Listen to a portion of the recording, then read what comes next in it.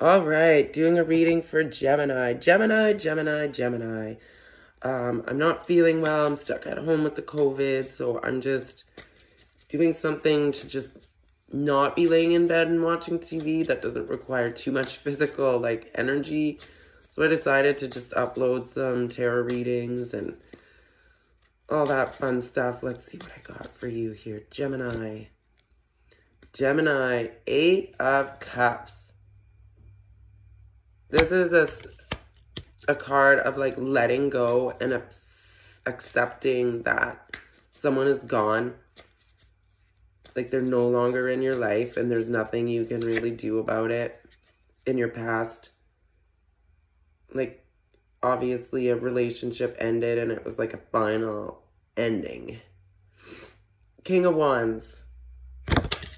So you've got like a emperor, like Aries energy coming in here, which is very enthusiastic, very fun-loving, very charismatic. So like you're feeling good, you're feeling like there you're feeling not so energetic. Oh, boy.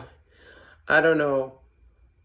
Obviously that was why, because the Three of Swords coming in. Like there's like a love triangle usually that's the signification of that um, in your present moment for the month of, month of March coming up. You've got the Hanged Man.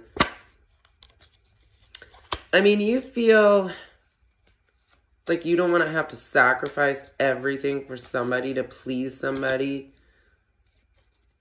Nine of Wands, like you're frustrated. You don't you feel like you're having to waste like way or you wasted way too much time and energy and you just don't want to do that again. You just don't want to be doing the same thing over and over and expecting a different result. Like, especially when it comes with somebody, like you don't know if you want to try again with them. I see somebody coming back and you're kind of like, well, it didn't work the first time. Like, like, why should I bother trying again? Like, I don't know. Like, you feel like you wasted enough time, you know? You're, you're tired of going around in circles. You just want things to change, but they never did, you know what I mean? They never improved. The tower, yeah, everything came down, like, it didn't turn out the way that you had hoped. Despite your best efforts, the Knight of Swords like there was a lot of arguing perhaps. A lot of arguing. A lot of passion, but a lot of arguing. The Hanged Man, again, it's talking about self-sacrifice. I don't know if you guys feel like you just, you, you gave enough. And you should have got more in return, but you didn't. oh, now you've got the Ten of Wands. Like, you're completely like, okay, now what do I do? Like, what, what do you want from me? Like, what, what is it that these people are expecting from you, you know? You feel like they expect way too much. The world.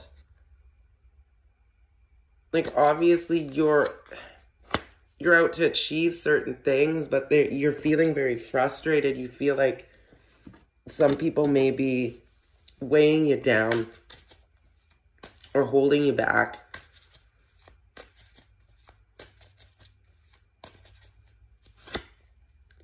Page of Wands coming in there. Oh, yeah. Page, or sorry, Page of Cups is a very, like, charming, romantic kind of, like, energy. But he's not very realistic. He's not very good at committing. You know what I mean? He's a bit of a narcissist and he's all about himself. So how are you supposed to have a relationship? If you're the one that's all about themselves, how are you supposed to be in a relationship? And you're wondering why it's not working, right? It can't just be like me, me, me, or them, them, them, making everything about them. The magician. Like you, you honestly feel like you were just tricked and deceived and charmed and, you know, maybe you had unrealistic expectations as well, or they did. Like nothing was ever good enough. Nine of Pentacles. So you're just out to rebuild yourself. And you're looking good and you're feeling good. the temperance. Yeah, you're really just trying to like sort it out. You're trying to like, you don't want your feelings to control you. Like your feelings and your emotions. You want to think more with your head and think more rationally, you know? The Three of Wands, overall, this did not destroy you. It's not gonna destroy you, and you're gonna stand tall. You're gonna, you're gonna press forward. You're gonna, you're gonna leave it behind, whatever this is. Because you feel like it's not worth your time. So I can see you just moving on um, but what you did learn is what you do want. And that doesn't make you selfish. It's just that's not what you want. It's not what you want. You kind of, you're still trying to figure that out in the month of March. What it is that you truly want. But you know what you don't want. And that's shitty people and liars. I hope that helped, Gemini.